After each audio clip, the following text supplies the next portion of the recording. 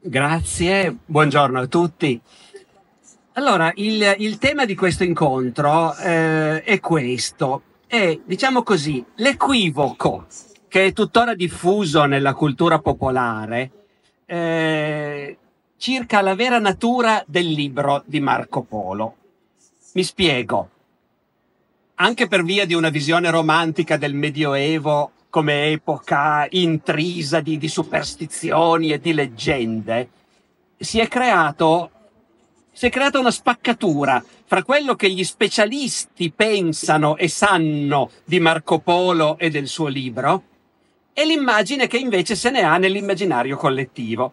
Perché negli studi degli specialisti è assodato da tempo che il viaggio di Marco Polo è stato un viaggio assolutamente reale, che il suo libro è una descrizione in gran parte autentica e verificabile di quello che aveva visto. E invece nell'immaginario collettivo, lo sappiamo tutti, il libro di Marco è spesso associato a una categoria, quella de, dei viaggi immaginari, eh, dei, della letteratura fantastica. No? Ecco, ora è una categoria che è diffusa nel Medioevo, quella dei viaggi immaginari eh? e dei racconti fiabeschi che non hanno nessun riscontro nella realtà ma il libro di Marco non rientra in questa categoria. Le intenzioni dell'autore erano completamente diverse. A cominciare dal titolo, che nelle intenzioni di Marco non era affatto il milione. Marco il suo libro lo aveva intitolato modestamente Descrizione del mondo. Però, per l'appunto, descrizione. Eh, come mai si chiama il milione poi, che invece è un titolo così vago ed evocativo? Eh, anche questa è una storia curiosa perché sembra proprio che Million fosse semplicemente il soprannome o cognome di un ramo della famiglia Polo. Famiglia Polo era una ricca famiglia di mercanti veneziani, molto ramificata, e il ramo a cui apparteneva Marco aveva un suo soprannome particolare. Di questo abbiamo anche prove documentarie. C'è un documento, un atto notarile del 1305, è un atto notarile, è la cosa, diciamo così, proprio più, più banale, terra-terra che si possa immaginare.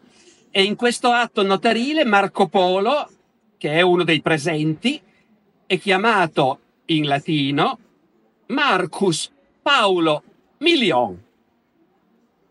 E dunque un soprannome, ma naturalmente i lettori del libro di Marco, che erano sparsi in tutta Italia e in tutta Europa, è probabile che si interessassero molto poco dei soprannomi delle famiglie veneziane. E invece questa parola milione per loro doveva evocare, come per noi, no? un orizzonte in qualche modo fiabesco. Ora, in realtà, appunto, la descrizione del mondo per usare il titolo che Marco aveva dato al suo libro, è un resoconto estremamente concreto di un viaggio, ma poi in realtà di un soggiorno, di un prolungatissimo soggiorno in Estremo Oriente, e il suo scopo è di offrire, il suo scopo principale, perché anche questo va detto, è un libro composito. È un libro scritto a quattro mani, lo sappiamo, dettato da Marco, ma scritto da Rustichello che era invece un autore di romanzi cavallereschi e in certe parti del milione si vede questa mano del romanziere senza dubbio. Eh? È anche un libro che vuole divertire, sì, certamente, e tante cose, però è innanzitutto un libro che vuole offrire al pubblico europeo dell'epoca e in particolare ai mercanti e agli uomini di potere una serie di informazioni concrete utilizzabili anche a fini pratici. Ecco. Certo, Marco poi include anche nel suo racconto episodi fiabeschi, mitici, cose che gli hanno raccontato e che lui include perché il suo pubblico se lo aspetta. Parla dei re magi, del vecchio della montagna, del prete Gianni, della tomba di San Tommaso Apostolo in India, ma il punto è che mentre noi lettori di oggi, quando incontriamo una dimensione miracolosa o magica, abbiamo subito la sensazione che non siamo più in un piano realistico. E per loro non era così. Per loro era ovvio che il mondo reale ha anche una dimensione magica, che il miracolo esiste e che lo incontri nella vita vera. Inoltre c'è un'altra cosa da dire, quando Marco racconta queste leggende che il suo pubblico già aveva sentito in Occidente, Marco regolarmente racconta delle versioni che ha sentito sul posto e che sono diverse da quelle che correvano in Occidente. E quindi diciamo anche quella è informazione. Anche queste leggende servono a far capire l'identità dei luoghi che lui sta descrivendo. Se uno legge il prologo del libro di Marco, si accorge quasi subito che l'intenzione dichiarata è appunto quella di presentare un resoconto autentico di fatti concreti. Dico quasi subito perché in realtà la prima frase suona molto invece come quella di un cantastorie o di un imbonitore che si rivolge al suo pubblico e lì si sente la mano di rustichello, perché come comincia il libro di Marco? Comincia così. Signori, imperatori e re, duchi e marchesi, conti, cavalieri e borghesi e ogni gente che volete conoscere le diverse razze di uomini e le diversità delle diverse regioni del mondo, prendete questo libro e fatelo leggere. È come la fascetta sui nostri libri, no? Ecco, un libro da un milione di... Vabbè, comunque. Allora, certo che l'attacco è quello dei romanzi cavallereschi, signori, imperatori, però poi dice, non dice che volete divertirvi, dice voi che volete conoscere e dà per scontato, ecco, cominciare rivolgendosi a imperatori, re e principi non è solo un luogo comune appunto da, da cantastorie, no, no. C'è la consapevolezza che sono innanzitutto gli uomini di potere che hanno bisogno di informazioni sull'altra metà del mondo. E questa consapevolezza Marco Polo ce l'ha perché, e questo mi sembra un punto molto importante, per capire anche il fatto stesso che lui è arrivato, in, tornato in Occidente, si è messo a raccontare. Perché quando i Polo erano arrivati in Oriente, alla corte del Gran Khan, come credete che avessero fatto per far fortuna? Si erano messi a raccontare. Si erano messi a raccontare al Gran Khan tutto quello che sapevano e che lui non sapeva sull'altra metà del mondo, sull'Occidente. Questo Marco lo dice molto chiaramente, eh? Dice, noi ci siamo conquistati il favore del Gran Khan perché lui ci aveva chiesto molte cose degli imperatori, come governano il loro Stato, come fanno la guerra, e poi ci ha chiesto del Papa, della Chiesa di Roma e di tutte le costumanze di noi latini, e noi gliele abbiamo raccontato, dice Marco. E, cito, e gli piacque moltissimo. E quindi è chiaro che tornati in Occidente hanno di nuovo un capitale di cose da raccontare, che nessuno sa e che tutti sono interessati a sapere. Marco Polo, sempre nel prologo, ci tiene a garantire quella che noi oggi chiameremmo la scientificità del suo libro. Di più, ci tiene a garantire che questo è anche un libro di storia e questo vale la pena di sottolinearlo perché, come dire, l'orizzonte geografico del libro di Marco ce l'abbiamo presente tutti. Ma questo è anche un libro di storia, è pieno di digressioni, neanche digressioni, fanno parte dell'impianto. Marco e Rustichello raccontano come è stato costruito l'impero di Gengis Khan, e come gli altri su- su- suoi successori lo hanno allargato e come ci sono state guerre civili, tentativi di colpo di Stato, guerre fra i Khan e potenziali usurpatori. Ora, tutta questa parte il lettore di oggi tende a saltarla a pie pari. Perché Rustichello, che era un autore di romanzi cavallereschi, abbastanza scadente, devo dire. Ecco, tutte queste battaglie le racconta tutte allo stesso modo, cioè ci sono proprio le stesse frasi. E quanti colpi di spada vennero scambiati, e quante teste vennero tagliate, e come posso dirvi, quante vergini rimasero orfane, quante mogli vedove. Ecco, sono tutte uguali in apparenza queste battaglie però poi di ognuna è detto molto chiaramente perché c'è stata quella battaglia fra chi e chi ha vinto e chi è diventato Gran Khan alla fine di quella battaglia e in molti casi c'è anche la data. Marco tende a datare precisamente nell'anno 1288 e così via.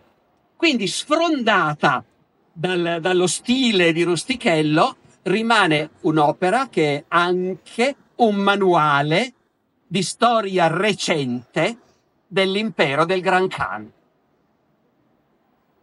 Poi certo, nel raccontare i fatti storici, anche Marco ogni tanto si trova sotto mano dei libri che sono di uso corrente in Occidente e che sono in realtà più romanzi che libri di storia ai nostri occhi. Il romanzo di Alessandro, per esempio, che è il romanzo di Alessandro Magno e delle sue campagne in Oriente di cui il ricordo era vivissimo nel Medioevo, ma naturalmente trasfigurato in modo leggendario. Quando Marco ha modo nei suoi viaggi di trovare un riscontro a quello che si racconta nel romanzo di Alessandro Magno, va a vedere se le informazioni sono giuste oppure no. C'è un passo che a me ha colpito molto ed è quando nel Caucaso gli dicono che lì, lì vicino, ci sono le famose porte di ferro.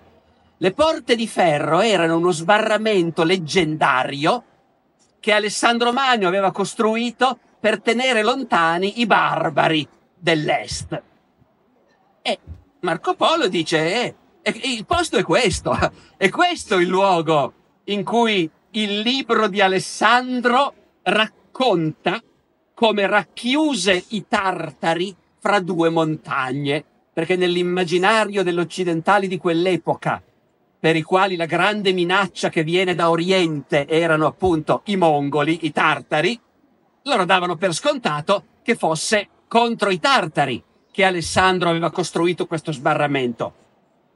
Ma Marco precisa subito. E non è vero che fossero i tartari, ma erano un popolo chiamato Cumani, perché i tartari non c'erano a quel tempo. In altre parole, lui ha ragionato, gli hanno raccontato la storia dei tartari, i tartari prima della nostra epoca non esistevano. E c'erano invece altri popoli, è verissimo che esistevano in precedenza, i cumani, e lui dà per scontato. Quindi lui precisa questa cosa. Da noi si dice che al tempo di Alessandro c'erano già i tartari, non è vero, non c'erano ancora. E allo stesso modo Marco coglie sempre l'occasione quando può correggere una leggenda, quando può smentire una leggenda a cui invece a casa nostra credevano tutti. Vi faccio, vi faccio qualche esempio. A Java ha visto l'unicorno, che è il rinoceronte naturalmente. Ma a lui viene naturale pensare, ma è quello l'unicorno. Da noi c'è questa leggenda di un animale miracoloso con un lungo corno e da noi si raccontano cose fantastiche di questo animale che si fa prendere dalle pulzelle, per esempio. Cioè, se vuoi catturare l'unicorno, l'unicorno è inafferrabile. Ma se ti porti dietro una fanciulla vergine, allora l'unicorno immediatamente si sottomette. Ora voi capite, Alessandro, Alessandro, addio, Marco Marco l'ha visto l'unicorno. Pensate che, legge- che cose favolose potrebbe raccontare. E invece, invece cos'è che dice dell'unicorno? È una bruttissima bestia da vedere. Non sono mica come noi qui diciamo e come li descriviamo, che dicono che si lascia prendere dalle pulzelle ma vi dico che è tutto il contrario di quello che diciamo noi. Ancora, in India, nel Malabar, gli parlano, non l'ha visto lui, ma gli parlano dell'uccello grifone. che è un'altra bestia fantastica dell'immaginario collettivo occidentale fin dal tempo degli antichi romani, mezzo uccello e mezzo leone. E i grifoni lui appunto glieli hanno descritti. E sappiate che non sono mica fatti come la nostra gente qui da noi crede e come ce li raffiguriamo, mezzo uccello e mezzo leone. Sono degli uccelli. Poi per carità gli dicono che sono aquile grandissime, però non sono quegli animali fantastici che si dice da noi. E poi c'è la salamandra. La salamandra, il piccolo rettile nero e giallo che conosciamo tutti, fin dall'antichità si credeva che la salamandra potesse vivere nel fuoco. Questa è la tipica leggenda che noi chiameremmo superstizione medievale e invece, tanto più in quanto io di mestiere studio il Medioevo, ci tengo a precisare. Nel Medioevo ci credevano perché lo leggevano nei libri degli antichi romani. Sono gli antichi romani che credevano a tutto e Plinio, il più grande scienziato dell'antichità, che nella sua storia naturale racconta tutte queste fanfaluche, fra cui che la salamandra vive nel fuoco per l'appunto. E i dotti del Medioevo, poveretti, ci credevano a un certo punto, visto che lo dice Plinio. Ecco. Ora, quello che risulta dal libro di Marco è che nel Medioevo arrivavano in Europa dei tessuti dall'Oriente, dei tessuti speciali che non bruciavano nel fuoco. E la gente facendo due più due credeva che fosse la pelle della salamandra. E quindi li chiamavano le salamandre. Ma Marco ha conosciuto uno che fabbricava quei tessuti. Dice un amico mio, un turco, che si chiama Zulfikar, e lui mi ha spiegato tutto e dalla spiegazione di Marco si capisce di cosa erano fatti questi tessuti. Era amianto, erano in fibra di amianto, perché il turco Zulfikar, industriale dell'amianto, ha spiegato a Marco che è un materiale che si scava sottoterra e poi si pesta e poi si fila come se fosse lana e si producono questi tessuti. E quindi non è la salamandra, dice Marco, cito, perché nessuna bestia può vivere nel fuoco. E si tratta invece di questo materiale e tutte le altre cose che se ne dicono sono menzogne e favole. Ve ne cito se permettete ancora una. Ed è la storia di quelli, quelli che, po- dice Marco, quelli che portano i piccoli uomini dall'India ed è una grande bugia e un grande inganno. Che cos'è la storia dei piccoli uomini? Si capisce dal racconto di Marco che qui da noi, qui da noi, laggiù da noi, in Occidente, nelle fiere c'erano i saltimbanchi che mostravano al pubblico a pagamento i piccoli uomini mummificati, imbalsamati, si intende, i piccoli uomini che vivono in India.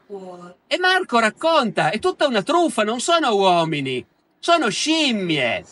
Sono, e io l'ho visto, sono scimmie che in faccia assomigliano abbastanza all'uomo, sono gli oranghi del Borneo evidentemente, e questi le catturano, poi le pelano, gli lasciano solo i peli sul mento per simulare la nostra barba, e poi le trattano, gli stirano le membra per renderle simili a quelle umane, poi vengono imbalsamati e poi li portano in giro da noi.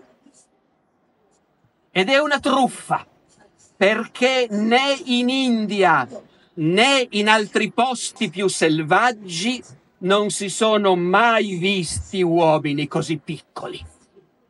Quindi, come vedete, Marco non è mai così contento come quando può riscontrare che una cosa a cui da noi si crede è una leggenda, o peggio ancora, una truffa. Eh, a questo punto, come dire, è triste pensare che invece poi i posteri, tante notizie date da Marco, a lungo hanno creduto che fossero appunto invenzioni sue o di quelli che gliele avevano raccontate cose inverosimili a cui non si può credere. E invece la ricerca recente ha permesso di confermare precisamente una serie di notizie date da Marco che a prima vista sembravano così lambiccate da essere inverosimili. E anche qui vi faccio qualche esempio. Eh, parlo della ricerca recente perché in realtà voi sapete che ancora negli anni 90 del secolo scorso sono usciti libri che sostenevano che Marco Polo si era inventato tutto e che non era mai stato in Cina. Ora, per fortuna questi libri hanno prodotto una nuova generazione di ricerche che si sono poste come obiettivo quello di andare a cercare nelle fonti cinesi le conferme delle notizie date da Marco, in modo più sistematico e più approfondito di quello che si faceva in precedenza. E allora vi faccio appunto alcuni esempi. Marco racconta com'è che nell'impero del Gran Khan si puniscono i ladri. Quando un uomo dice, quando un uomo ha rubato qualche piccola cosa, per cui non merita di essere condannato a morte, gli danno sette bastonate, o 17, o 27, o 37, o 47, e in questo modo continuano fino a 107, aumentando ogni volta di 10 a seconda della gravità di quello che ha rubato e parecchi muoiono di questa bastonatura. Ora questa è la tipica notizia di fronte a cui per molto tempo i commentatori si dicevano ma cosa aveva bevuto quando ha scritto questa cosa? Come gli può venire in mente un sistema così bislacco? E invece un libro recente, quello del Fogel, uno di quelli che hanno contribuito appunto a mettere chiarezza il libro del Vogel ha un titolo chiarissimo. Marco Polo was in China. Il Vogel è andato a cercare nei documenti amministrativi, nei regolamenti e nelle leggi dell'impero del Gran Khan e ha trovato un regolamento del 1312 che prescrive le punizioni per chi falsifica moneta falsa, eh, per chi produce moneta falsa. Per il falsario 107 bastonate. Per chi spaccia moneta falsa, 97 bastonate. Un altro regolamento degli stessi anni prescrive le pene per i soldati colpevoli di negligenza nel servizio. Per il soldato 27 bastonate, per l'ufficiale 57 bastonate. E quindi la notizia sulle punizioni che vanno sempre aumentando in 7, in 7, in 7 è perfettamente reale. Sempre a proposito di numeri. Marco è un mercante, i numeri gli interessano, le cifre, le percentuali, perfino le percentuali, lo vedremo, gli interessano. In questo caso invece sta parlando di religione. Parla di quelli che lui chiama gli idolatri, che poi sono i buddisti, e dice che gli idolatri, i buddisti, hanno 84 idoli e che ognuno di questi 84 idoli ha il suo nome, ha un suo potere particolare, viene invocato in certe circostanze. Allora, di nuovo, per molto tempo, da dove tira fuori questo numero? E invece nella letteratura buddista tantrica c'è il tema degli 84, i cosiddetti grandi adepti, i Mahasiddha, cioè uomini e donne che attraverso la pratica dello yoga avevano acquisito poteri speciali e sono esattamente 84 e c'erano templi in cui c'erano gli 84 altari di questi 84 grandi spiriti ognuno col suo nome e ognuno con certe sue caratteristiche e un suo insegnamento particolare. Quindi di nuovo, Marco, non che abbia capito tutte le sottigliezze dell'insegnamento buddista, chiaramente, però sta riferendo qualcosa di molto preciso. Ancora, lasciando stare i numeri in questo caso, un'altra notizia di quelle che per tanto tempo sono state considerate inverosimili. Lungo il viaggio di ritorno, Marco è sulle coste dell'Arabia, vicino a Aden, nel porto che lui chiama Eshier e che si chiama in effetti Al-Shir. In questo porto di Al-Shir, dice Marco, il pesce è così abbondante che le loro bestie, i montoni, i buoi, i cammelli, i cavalli, si nutrono di pesce. E dice Marco, è la loro biada, perché in quel paese non c'è erba, ma è il posto più secco del mondo. Ora io vedo dalle vostre facce che l'idea dei cammelli e dei cavalli che mangiano il pesce è la tipica cosa che uno dice, vabbè, eh.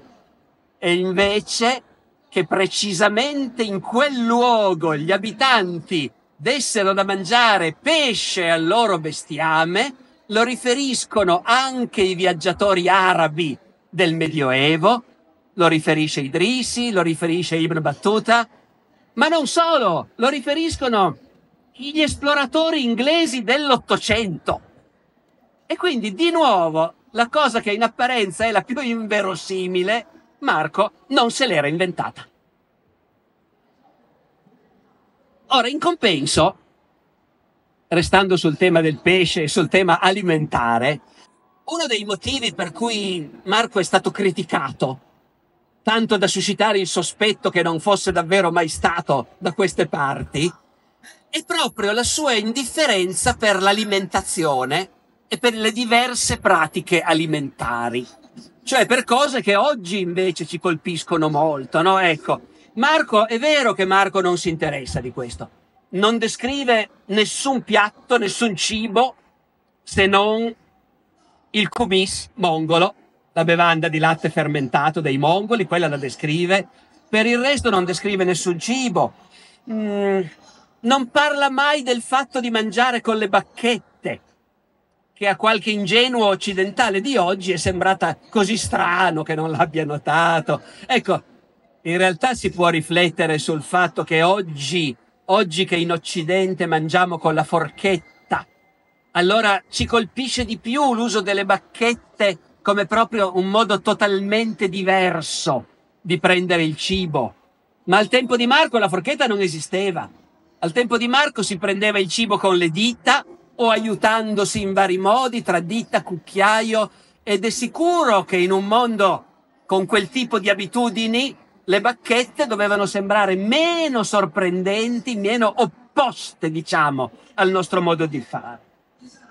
Dopodiché però non è mica vero che Marco Polo non si interessa all'alimentazione, perché quando trova qualcosa che per il suo pubblico europeo è davvero una notizia sorprendente, allora certo che ci si ferma. E qual è la cosa più sorprendente di tutte? Per un occidentale, che i cinesi non hanno il pane. Il fatto che non ci sia il pane è una cosa da cui non si riesce eh, a rinunciare, a non meravigliarsi enormemente, ecco. E, e Marco lo dice, fanno poco frumento. Da loro viene bene il riso, il panico, il miglio, e quelli danno raccolti abbondantissimi, ma non ci fanno il pane. Li mangiano cotti, come la carne, cotti nel latte, dice, ecco. E, e frumento ne hanno un po' eh, di frumento, però non cresce bene e comunque anche con quel frumento non ci fanno il pane. Ci fanno la pasta, le lasagne, ma il pane no. E poi sempre parlando di queste cose, Marco a un certo punto racconta una di quelle cose che lui introduce proprio con la formula adesso vi dico un'altra cosa che vi farà meravigliare a Sumatra ha trovato degli alberi che dentro sono pieni di farina. Ed è naturalmente la palma del sagù, che è un prodotto che oggi sta diventando molto di moda anche da noi, il sagù, no? è, è quello che invece in passato gli esploratori occidentali chiamavano proprio l'albero del pane, salvo che, dice Marco, hanno questi alberi pieni di farina, ma non ci fanno il pane. Ci fanno molte vivande di pasta che sono molto buone da mangiare, è una delle poche volte in cui fa un commento comunque, non le descrive, ma dice sono buone, io le ho mangiate, ma non fanno il pane. Ora, resto su questo per raccontarvi un dettaglio, che però è indicativo di quanto questa cosa dell'assenza del pane fosse inverosimile per il pubblico occidentale. C'è una delle traduzioni dell'opera di Marco, apro una piccola parentesi, voi sapete che l'opera di Marco noi non abbiamo un manoscritto originale di suo pugno, abbiamo molte versioni, ma sono quasi tutte traduzioni in varie lingue che hanno spesso aggiunte, modifiche. C'è una traduzione in italiano che è malfamata perché chi l'ha fatta ha aggiunto o ha cambiato molte cose di testa sua. Questo traduttore del libro di Marco, quando arriva a parlare dell'albero del pane, de, o meglio dell'albero della farina, e Marco dice con questa farina non ci fanno il pane, il traduttore, che è di area veneta, traduce in un italiano di area veneta, non riesce a crederci a questa cosa che non fanno il pane, crede che ci sia un errore nel testo e lo corregge. Per cui nella sua versione gli abitanti impasta con l'acqua e ne fa pane e altri suoi manzari, come noi femo della farina de formento. E il pane di quella farina è come pane di orzo e di quello sapore. È tutto inventato da un traduttore per cui l'assenza del pane è inco... cioè non posso raccontare al mio pubblico una balla come questa, ecco, bisogna correggere gli sbagli di Marco. E poi c'è un'altra, c'è un'altra notazione di Marco che magari rischia di sfuggire, perché lui la butta lì così. E bisogna conoscere l'antropologia del nostro Medioevo per capire come mai lui è così colpito. Marco è a quella che lui chiama Kinsai, e che è naturalmente Hangzhou, che per lui è senz'altro la più grande, più ricca città che ha visitato, abbondantissima, c'è di tutto, c'è di tutto al mercato, carne, ogni tipo di carni. E qui c'è già una prima notazione, non è quella che vi volevo dire, ma questa viene prima. Eh, ogni tipo di carni e i ricchi mangiano vitello, mangiano montone, ma i poveri, dice, mangiano ogni sorta di carni immonde. Dove devo dire si riconosce il pregiudizio occidentale che esiste ancora oggi, eh, in un certo senso, verso una cultura alimentare come quella cinese, dove si mangiano animali di tutti i generi, un raggio più ampio, diciamo, di, di commestibilità rispetto ai pregiudizi di noi occidentali. Ma non è questo il fatto. Il fatto è che in questo mercato dove si trova carne di tutti i tipi c'è anche enorme abbondanza di pesce. E il pesce viene messo sul mercato tutti i giorni. E a vedere quanto ce n'è, non si penserebbe mai che riescano a venderlo. E invece in poche ore lo vendono tutto questo pesce.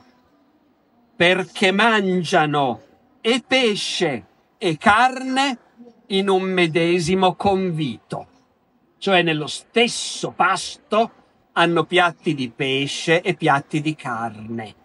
E questa è un'altra cosa che per il pubblico europeo di allora era del tutto inconcepibile, perché loro, per loro era così forte l'influenza del calendario religioso, dei giorni di grasso e dei giorni di magro, dei giorni in cui si può mangiare carne e dei giorni in cui si deve mangiare pesce per penitenza. Poi intendiamoci, lo sapevano anche loro che il pesce può essere buonissimo, eh? Lo storione era riservato ai principi e ai vescovi. E tuttavia nella testa di tutti mangiare pesce è associato ai giorni di magro e alla penitenza. Per cui nei giorni di grasso non metti il pesce in tavola. Inconcepibile o si mangia carne o si mangia pesce. Naturalmente allora questa cosa era molto forte, non è sparita del tutto neanche oggi, eh? Nel senso che noi troviamo naturalissimo che un ristorante proponga un menù di terra e un menù di mare. Però oggi non è forse più così rigida, allora lo era, e il fatto che invece i cinesi non hanno questo tabù, ecco, è una notizia sorprendente e va data. E ancora, sempre per la serie Cose che stupiscono un europeo del Medioevo. In India, quando bevono, ognuno beve dal suo boccale e non farebbe mai bere un altro nel suo boccale. E se arriva un forestiero e chiede da bere, se ha il suo recipiente, gli danno da bere, ma se non ce l'ha, gli versano, dice Marco, la bevanda o il vino nelle mani e lui beve dalle mani. Ora, al tempo di Marco, gli occidentali non avevano minimamente l'idea che quando si mangia o si beve ognuno deve avere il suo piatto e il suo bicchiere. Era un modo di mangiare molto più conviviale, e per quanto riguarda il bere era possibile che l'intera tavolata usasse lo stesso, la stessa coppa, così come era possibile che i due commensali seduti vicini condividessero la coppa, così come condividevano il piatto o il tagliere, la fetta di pane su cui appoggiare i bocconi presi con le dita, ed era una cosa che in origine nasceva sicuramente dalla povertà, dalla scarsità di suppellettili, ma che in realtà era diventata un modo di vivere. Mangiare è un atto conviviale e si condivide tutto. Per noi oggi che gli indiani non lasciassero bere gli altri nel loro bicchiere ci stupisce molto meno. E invece al tempo di Marco è un'alterità antropologica che lui immediatamente percepisce e, e segnala. E quindi e quindi dobbiamo capire cosa intende Marco quando promette al lettore di presentargli meraviglie. Le meraviglie non sono i mostri, l'uccello grifone, la salamandra che vive nel fuoco, neanche per sogno. Le meraviglie sono delle cose che esistono davvero e che noi non lo sapevamo e che ci sorprendono proprio perché esistono davvero. E allo stesso modo la geografia del libro di Marco è una geografia che non ha nessun interesse a stupire il lettore parlandogli della, dei giganteschi edifici. Sì, i palazzi del Gran Khan vengono descritti, perché lì bisogna far capire quello che è il potere del Gran Khan. Però quello che interessa di più a Marco sono le distanze geografiche, perché bisogna sapere quanto ci vuole da una città all'altra. Quello che interessa a Marco è la produzione, che cosa si produce in ogni luogo.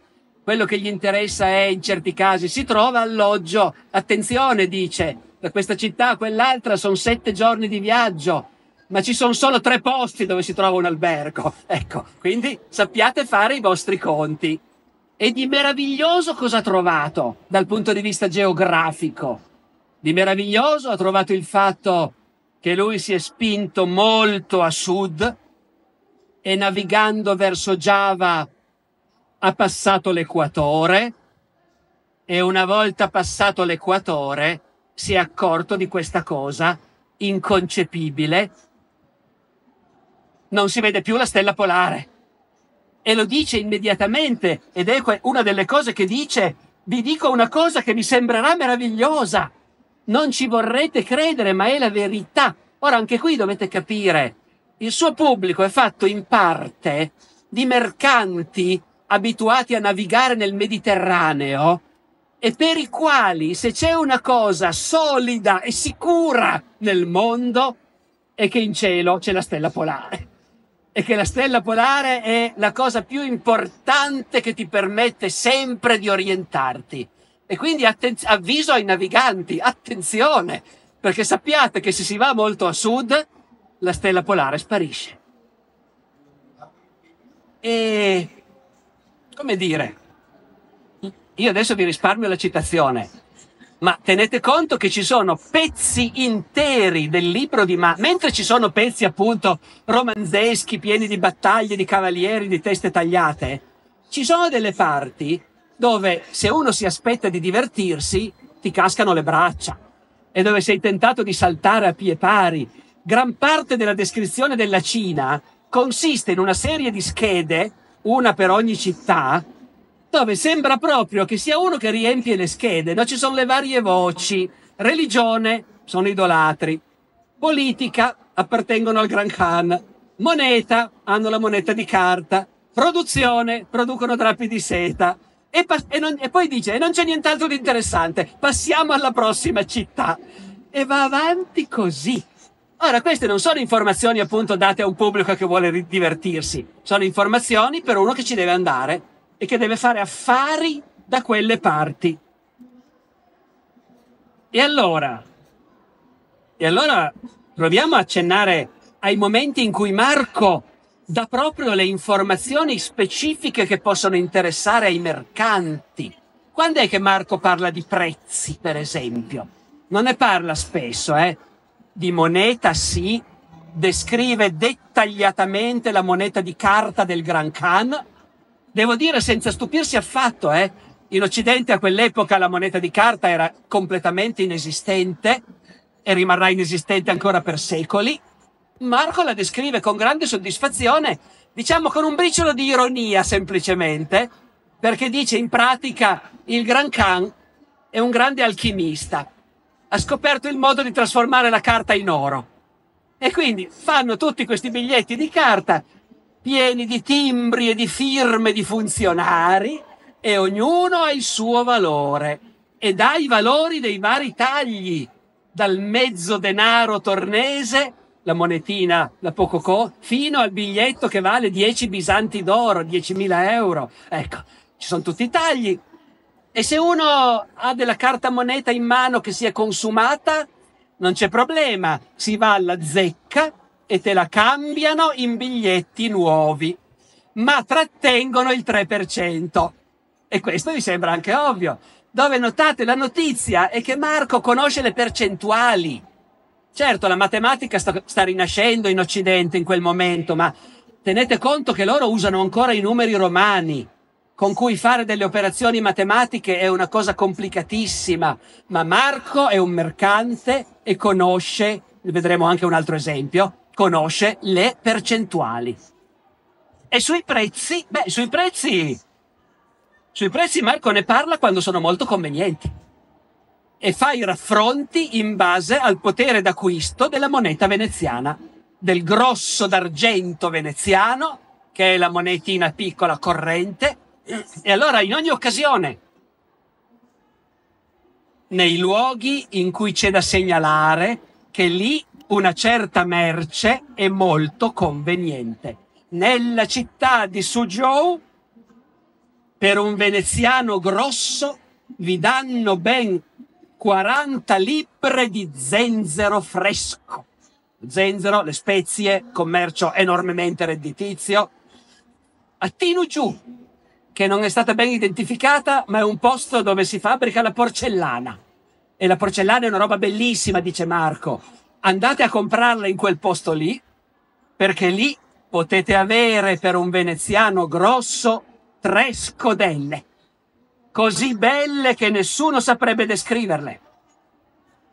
E poi sono segnalati i cambi vantaggiosi in qualche caso. C'è una provincia, la provincia di Zardandan, che è più o meno fra lo Yunnan e la Birmania, in questa provincia, dice Marco, l'argento è molto scarso, perché non ci sono miniere d'argento nella zona.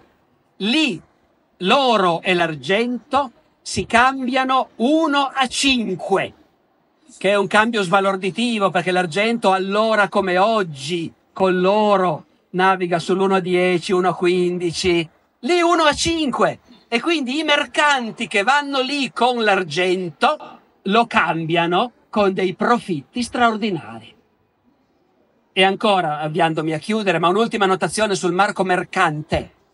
Tenete conto che sugli affari di Marco e della sua famiglia gli archivi di Venezia ci offrono parecchie informazioni, eh? tra cui il testamento dello zio che è esposto nella grande mostra su Marco Polo alla Shanghai Library. Ecco, questi documenti ci fanno vedere una famiglia di mercanti nel concreto dei loro affari.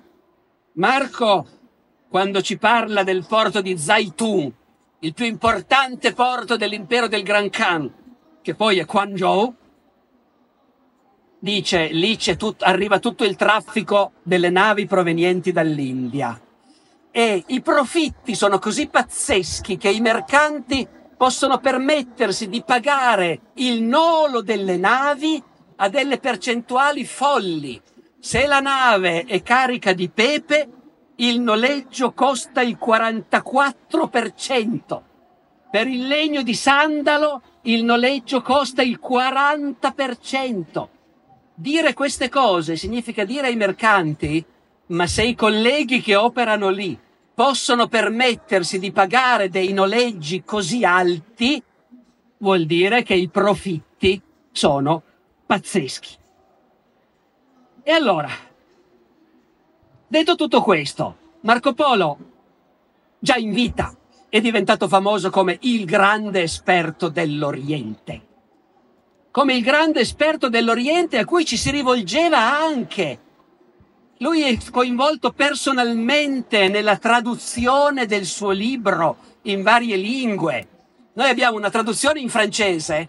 Il libro di Marco è stato scritto da Rustichello in quel finto francese che si scriveva in Italia nel 200. Era molto di moda scrivere in francese in Italia nel 200, ma era un francese molto italianizzato, no? Invece noi abbiamo una traduzione in francese corretto, con un'annotazione di un signore un cavaliere francese, che dice io ho fatto fare questa traduzione del libro del signor Marco Polo, che ha portato mio papà da Venezia, perché mio papà era ambasciatore del re di Francia a Venezia e ha incontrato il signor Marco Polo e ha saputo del suo libro e gli ha chiesto di averne una copia.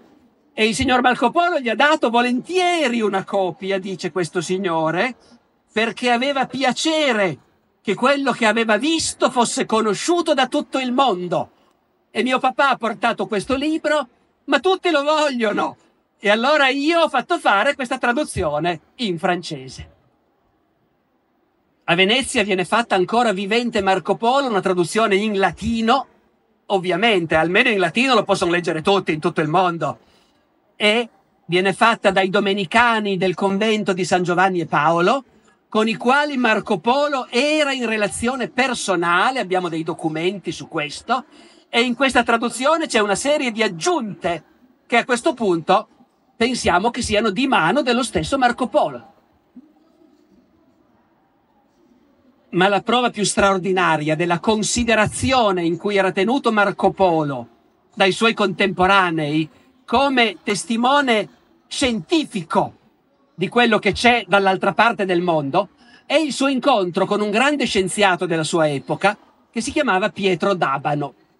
Pietro D'Abano era un italiano, filosofo, medico, astrologo, traduttore dal greco e dall'arabo, professore a Parigi alla Sorbona e poi a Padova. Ora Pietro D'Abano in un suo libro affronta una questione filosofica che fin dall'antichità era stata discussa in modo teorico, e cioè è possibile la vita a sud dell'equatore? O fa così caldo che la vita lì è impossibile? E Pietro D'Abano dice, sì sì è possibile, è possibile, c'è la vita umana sotto l'equatore. E me l'ha raccontato Marco Polo. Dice, il più grande viaggiatore è il più impegnato esploratore dei nostri tempi. Marco Polo, dice Pietro, mi ha proprio spiegato che lui c'è stato sotto l'equatore e che lì non si vede più la stella polare e ha incontrato isole abitate da uomini e bestie. Quindi Marco Polo è l'autorità che gli scienziati del suo tempo, questo mi indica che devo finire, ma in due minuti avrò finito, è l'autorità che gli scienziati del suo tempo citano per verificare le cose. Ma del resto, ancora Cristoforo Colombo, quando torna dalle Bahamas e invece è convinto di essere stato in Giappone, e deve dimostrare che è stato davvero in Giappone, una delle cose che fa Marco Polo, eh, che fa Cristoforo Colombo, una delle cose che fa Cristoforo Colombo è che si compra il libro di Marco Polo. Lo compra dopo essere tornato, perché noi ce l'abbiamo quel libro, con le annotazioni di pugno di Colombo, ed è un'edizione stampata ad Anversa nel 1495 e Colombo va a cercare nel libro di Marco Polo la prova che lui è stato davvero in Giappone. Quindi per, gli, per finire, per gli addetti ai lavori, il libro di Marco è sempre stato fin dall'inizio un testo scientifico. Però, però va detto che molto presto è nata l'altra lettura che invece vede nel libro di Marco un qualche cosa di favoloso, di fantastico. Noi abbiamo una copia, un manoscritto della versione toscana del milione, quindi, fatta da un signore, un fiorentino, nel 1392. Questo signore stava, faceva il podestà di Firenze in un paesino di campagna, si annoiava, per passare il tempo trascrive il milione e annota questo libro contiene cose incredibili, più che miracoli. È difficile prestar fede. Ma ancora alla metà del Cinquecento, Giambattista Ramusio, che pubblica la sua grande collezione di opere di viaggio e include l'opera di Marco Polo, il Ramusio scrive addirittura, siamo a metà del Cinquecento, che il libro di Marco è stato per molte decine d'anni riputato favola e che i nomi delle città e province fossero tutte finzioni e immaginazioni senza fondamento alcuno e per dir meglio sogni. Insomma, non c'è da stupirsi se mentre gli specialisti sanno che il libro di Marco è una descrizione reale in gran parte di quello che lui ha visto, invece nell'immaginario collettivo, nel mondo della letteratura d'evasione, chissà forse anche di quella per ragazzi, nel mondo delle serie televisive di Hollywood, invece il nome di Marco Polo evoca un orizzonte fantastico, fiabesco, perché il destino del libro di Marco è stato quello fin dall'inizio. Grazie.